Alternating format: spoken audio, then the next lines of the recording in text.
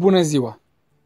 Acest episod este al treilea din seria despre acoperișele de tip terasă, în care o să enunț principalele avantaje acestuia. Deja despre dezavantaje o să fie videoul viitor. De fapt, nu cred că este tocmai corect de spus avantaje versus dezavantaje.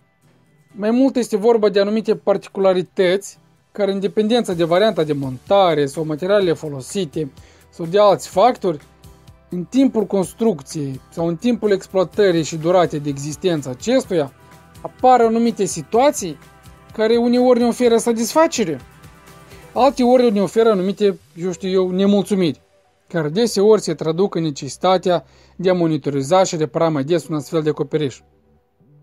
Așadar, o să încep cu avantajele acestui tip de acoperiș. Primul și un real avantaj major al acestuia este faptul că nu este influențat de vânt, furtune, tornade și alte fenomene extreme. Datorită schimbărilor climatice și apariției fenomenelor de tornade și ploi puternice chiar și în zonele noastre, care deja devin o regulă și le vedem practic mai ca anual, odată m-am gândit și eu serios la astfel de acoperișe. Știm cu toții că în cazul fenomenelor de vânt extrem, acoperișurile serpante sunt mai slabe în fața acestor fenomene. Chiar sunt cazuri că acoperișe întregi sunt smulse și luate de vânt, lucru care nu îl putem spune despre acoperișele plate, care sunt mult mai puțin expuse deteriorării datorită acestor fenomene. În al doilea rând, casele fără acoperiș, cum se mai spune acestora, prezintă un risc minim de incendiu, dacă în podul casei, cu acoperiș normal, mereu poate vreo priză sau poate vreun circuit sau poate de la soare prin fereastra mansardei să se aprindă ceva sau chiar dacă întâmplător sau nu să începe vreun incendiu, în cazul podurilor, acesta ușor poate cuprinde toată structura de lemn a acoperișului și arde, prezentând pericol inclusiv și pentru locatari. Însă în cazul acoperișilor plate, materialele folosite la acestea sunt cel mai des rezistente la temperaturi mari și chiar la diferite scântei sau altele de genul dat care pot, eu știu eu, provoca vreun incendiu. Și chiar dacă să presupunem că arde vreun anumit foc sau rug pe acoperiș, acesta nu s-ar răspândi atât de mult cum ar face în cazul unui acoperiș clasic cu structură de lemn. Acesta a fost al doilea avantaj al acestui tip de acoperiș. Alte avantaje real, eu cred că nu mai sunt. Gata. Poate dumneavoastră sunteți surprinși? Eu nu. Restul ce vi se spun în reclame sau citiți în diferite surse că ar fi iacăbă vreun avantaj, de fapt sunt povești. Orice alte argumente deja fie nu sunt deloc un avantaj, ci pur și simplu o caracteristică care depinde în dependența de anumiți factori, așa cum depinde pentru orice fel de acoperiș, fie sunt aberații pentru cei care pun botul, să mă scuzați, fie dacă vorbim de vreun argument, nu că face din trânsul vreun țânțar armăsar, dar face dintr-un țânțar, nu știu, un dinozaur.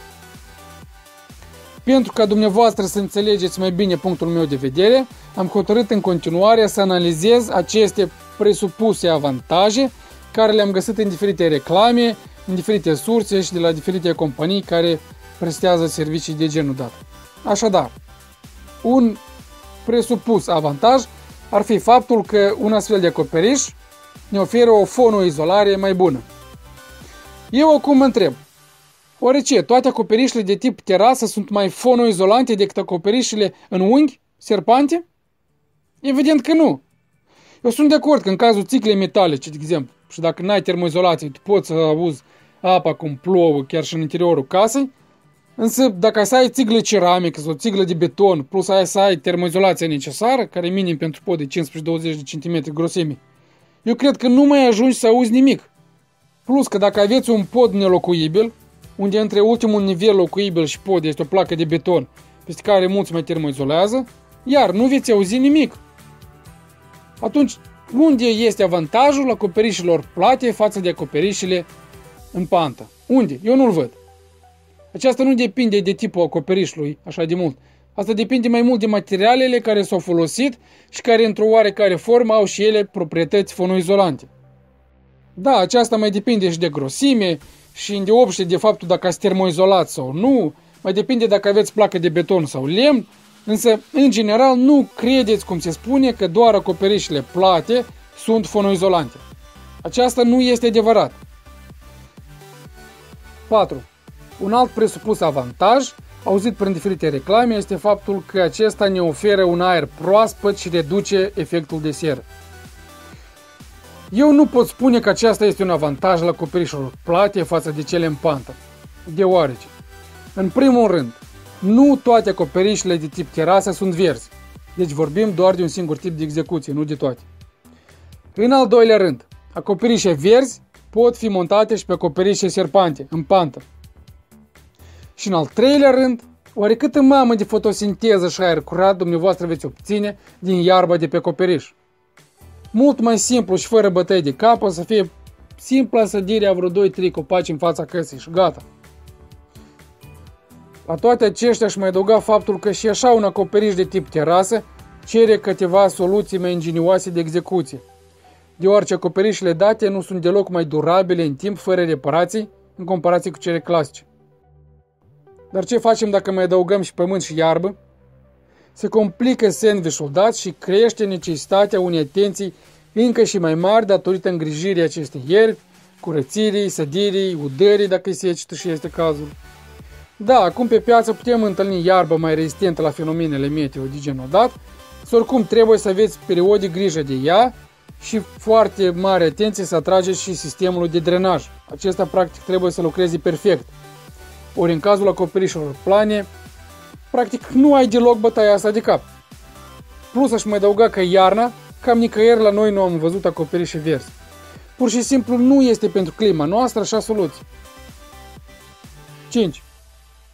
Un presupus avantaj, au auzit în foarte multe reclame, menționează faptul că acest tip de acoperiș este mai comod în exploatare și poate fi folosit liber ca loc pentru terasă de vară, pentru petreceri sau chiar pentru bronzat. Eu personal doar foarte puțin sunt de acord cu această afirmație. Da, este logic că pe un acoperiș plat, pe o suprafață orizontală, modificată în așa fel încât acolo poți sta și să te bronzezi, sau să dai vreo mini petrecere, da, poți stai acolo, normal. Doar un acoperiș în pantă nu cred că o să fie tocmai comod. Însă atât. Dacă să pătrundem în esență și să analizăm mai aprofundat aceste argumente, vedem că practic sunt făcute din țânțara armăsar. În primul rând, vara pe acoperișe se ridică o așa temperatură, încât deja dimineața te poți sufoca de căldură, fiind aproape imposibil în mod relaxant să te bronzezi acolo. Ca să nu mai zic că stând pe o plapă sau șezlong pe un acoperiș uh, termoizolat și hidroizolat cu membrană bituminoasă nu este deloc comod. Câteodată mai când nici nu ai cu ce respira. E mult mai comod, spun eu, să vă duceți la vreun bazin sau stai pe iarba verde a gazonului sub vreo plapumă sau poate la umbra unui copac. În al doilea rând, ce ține de argumentul că poți da acolo mici petreceri. Nu doar că normele simple de siguranță, mai ales când se consumă alcool, ne recomandă să ne ferim de locuri unde putem, accidental sau nu, cădea sau luneca, dar încă ia imaginați-vă și puneți-vă dumneavoastră astfel de întrebări. Oare toți invitații o să dorească să urce pe scara acolo? Va fi această scară comodă? Unde veți amplasa scara respectivă? Din casă, din interior sau din exterior? Va fi una fixă sau mobilă? Plus, eu v-aș întreba, oare ce peisaj unic veți vedea voi pe acoperișul unei case cu 1-2 etaje? Mare priveliște. Eu, unul, mă simt mult mai comod să mă duc în vreun local, sau să ies în oraș undeva, sau să mă duc în vizită la cineva, sau chiar dacă aș face la mine vreo petrecere în aer liber, eu m-aș simți mult mai liber să mă aflu cu picioarele pe pământ, pe gazon, decât să stau pe un acoperiș. Stau bărbații normal acolo la o berecică, fac grătară, femeile acolo sub bisetcă, fac sălățică, pregătesc masa, una alta, tragi lunină, faci o structură de lemn, o terasă de vară, cum spune la noi, așa, pe pământ, nu sus.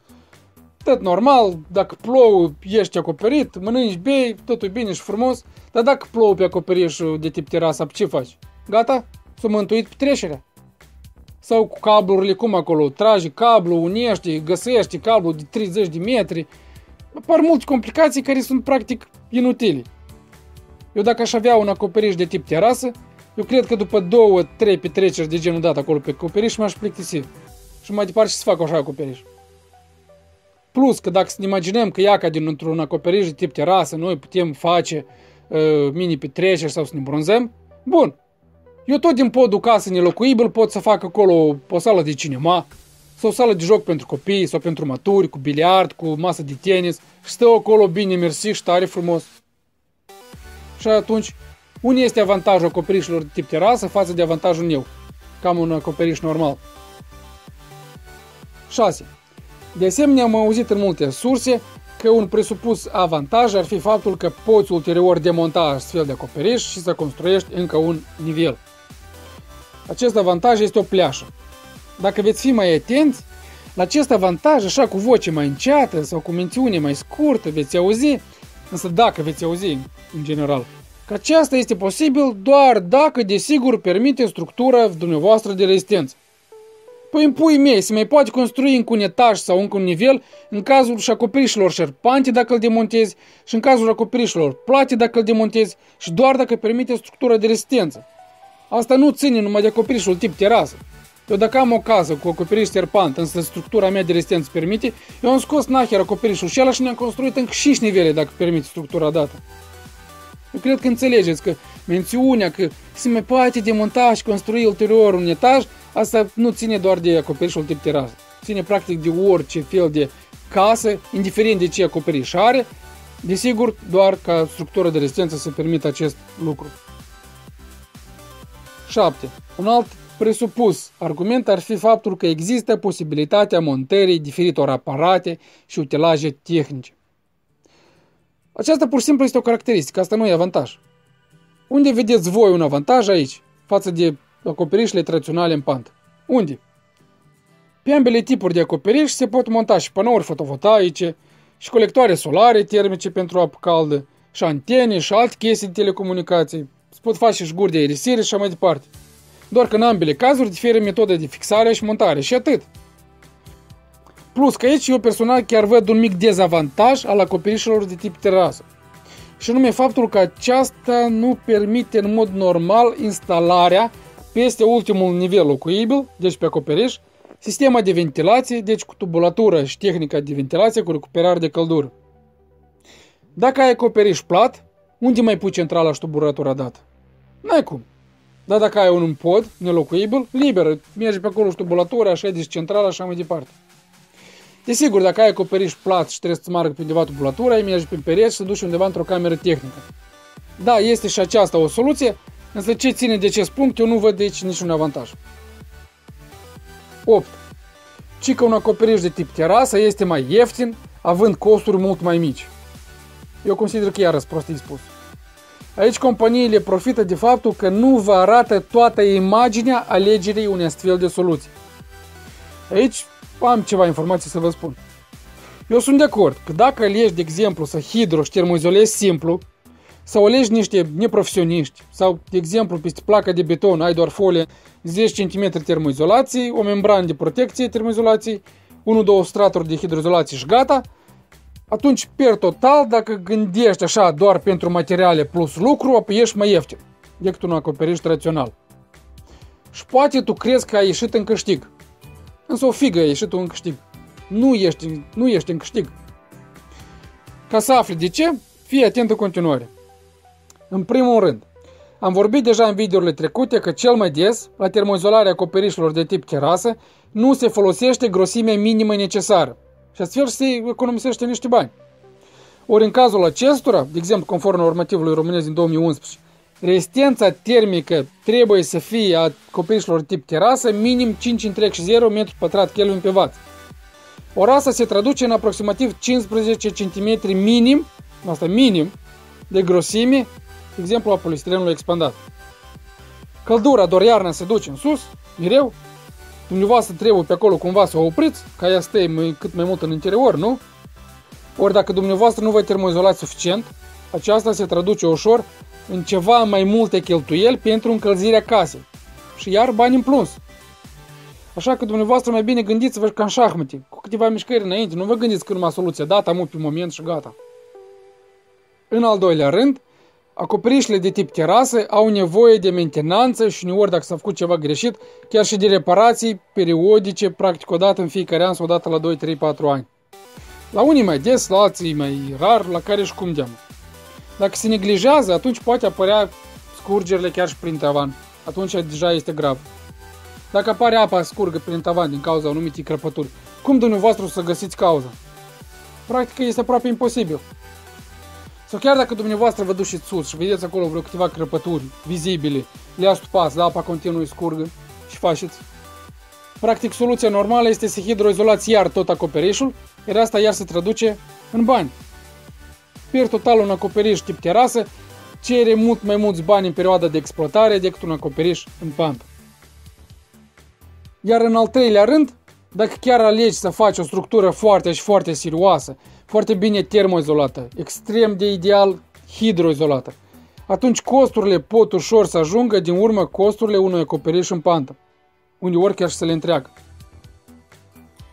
Iar în al patrulea rând, îndeopște dacă doriți un acoperiș plat verde, cu iarbă, făcut corect, normal, termoizolat și hidroizolat normal, cu drenaj normal și cu includerea tuturor elementelor necesare, atunci acest acoperiș eu cred că aproape mai sigur este mai scump decât un acoperiș clasic în pantă.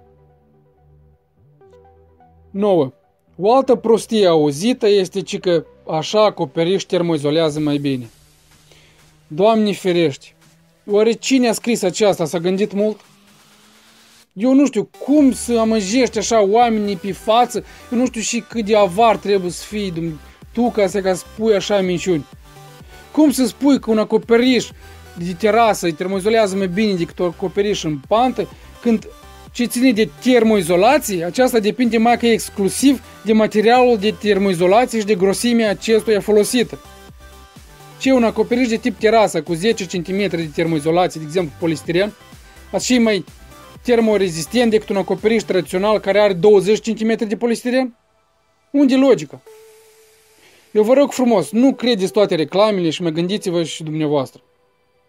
Apropo, mult mai detaliat ce ține de termoizolație, o să expun argumentele mele în videoul viitor. Și în al 10-lea rând, un al 10-lea presupus avantaj care l-am auzit este faptul că așa case sunt mai moderne, cu design mai unic și mai prestigios. Oamenii buni, ce e frumos pentru cineva poate fi urât pentru altcineva și invers. Așa că la acest punct, chiar că ține de gustul fiecăruia. Cam atât pentru astăzi. Deja în videoul viitor veți găsi un material pregătit privind problemele ce pot apărea în cazul acoperișilor de tip terasă. Probleme nu sunt puține, poate să apară mai multe, mai multe bătăi de cap. Mai multe informații găsiți în videoul viitor. La revedere!